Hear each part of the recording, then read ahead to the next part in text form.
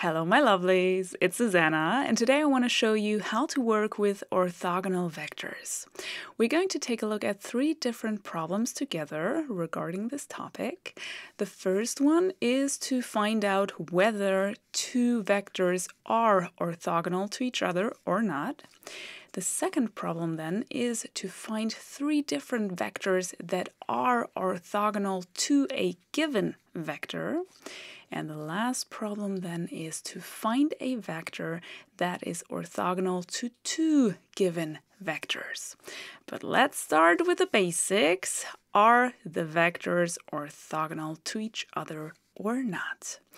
Okay, so we want to figure out whether these vectors, so let's call this vector A, this vector B, whether they are orthogonal to each other, so they have this 90 degree angle here between them, or not.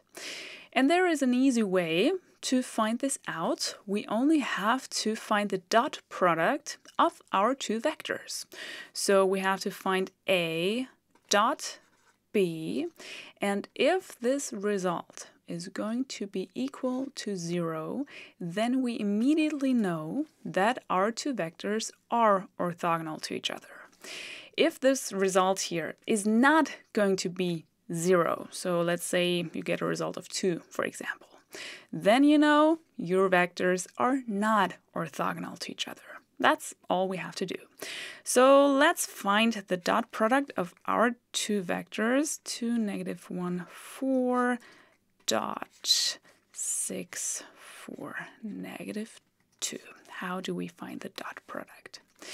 We multiply the coordinates, so 2 times 6 first, and then we always add the product of the next coordinate. So we take the negative 1 times 4 next, and then we add the same thing with the last coordinate.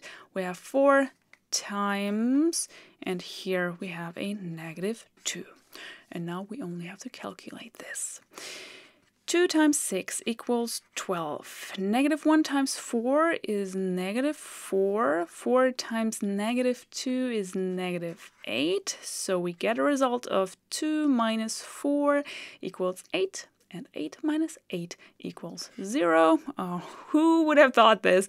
That the result is going to be 0. So we know our two vectors are orthogonal to each other. Next problem. Find three vectors that are orthogonal to vector A. So this time we are given only one vector and we have to find another vector actually three other vectors that are orthogonal to this one. So let's start with one vector. How can I find a vector that is orthogonal to a given vector? You can always set one of the coordinates 0. So let's say we choose the first coordinate and set it to 0. Then you go to your vector and take the other coordinates and switch them. So we have the negative 3 here and the negative 2 here. I take the negative 2 and put it as my second coordinate. And I take the negative 3 and I put it here as my last coordinate. This is not yet the result. We still have to do one little thing. From these numbers that we've written down here, we have to choose one of them and change the sign of this number. So either you choose the negative 2 and make it a positive 2, or you pick the negative 3 and make this number a positive 3. Whatever you choose, let's uh, go with a 3 here. So we have a positive 3 here, and now this vector is automatically orthogonal to this one. Want to check? We know now how to do it, right? We want to find the dot product of these two vectors. So we multiply the coordinates 5 times 0 first. Then we add the same with the second coordinate, negative 3 times negative 2 and then we add the product of the last coordinates. We have negative 2 times 3, and this hopefully equals 0. Here we have 0. Negative 3 times negative 2 equals 6, and negative 2 times 3 equals negative 6. So yeah, good. The result is 0, so our two vectors here are indeed orthogonal to each other. But this was not yet everything. This was just one vector. We have to find two more. So how can we find another vector now that is orthogonal to this one?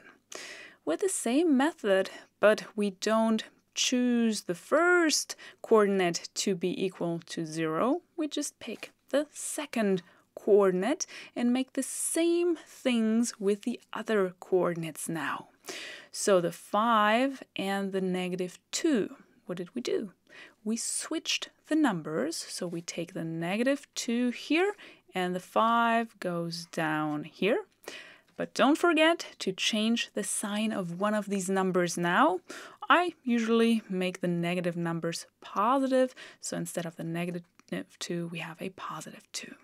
You can check again with the dot product if these vectors are orthogonal to each other, should be the case, and then we find a third one with the same method.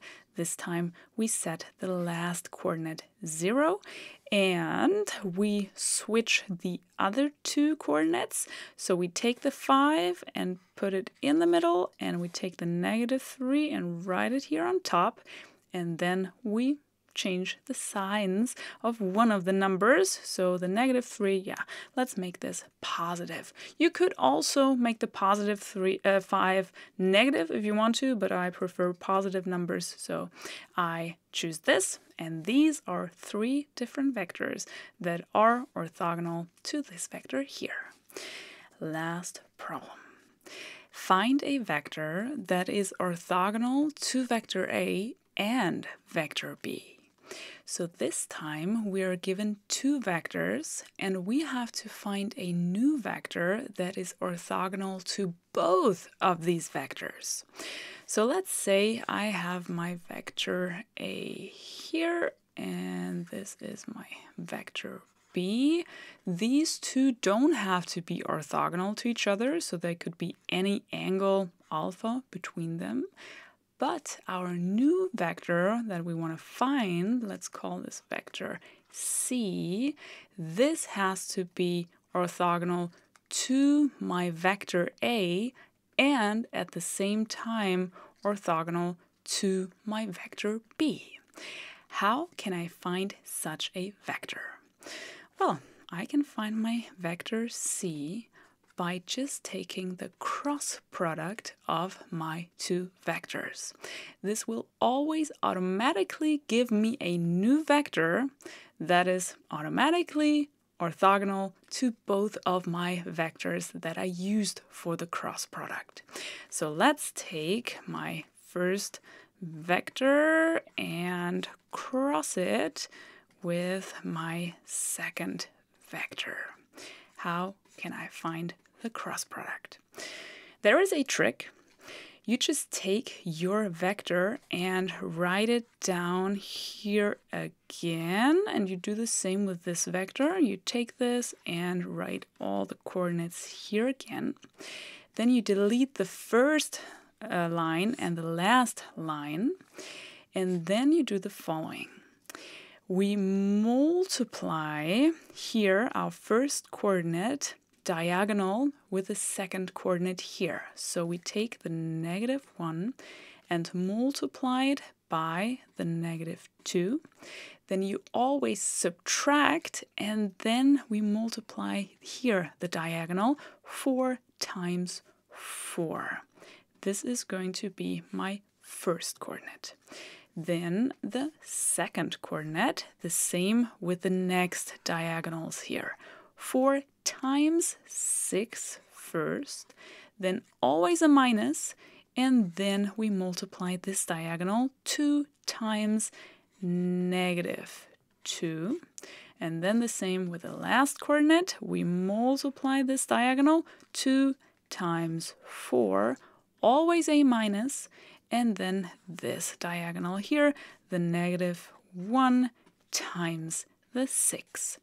Now let's calculate this. The first coordinate, negative 1 times negative 2 equals 2 minus 16. Second coordinate, 24 plus 4. And last coordinate, the 8 here, uh, plus the 6. So in total, we get a vector with the coordinates negative 14 28 and 14. And this vector here is automatically orthogonal to these two vectors here. I hope it helped you. If you have any questions, please let me know in the comments. I wish you a wonderful day and I hope to see you in one of my next videos. Take care!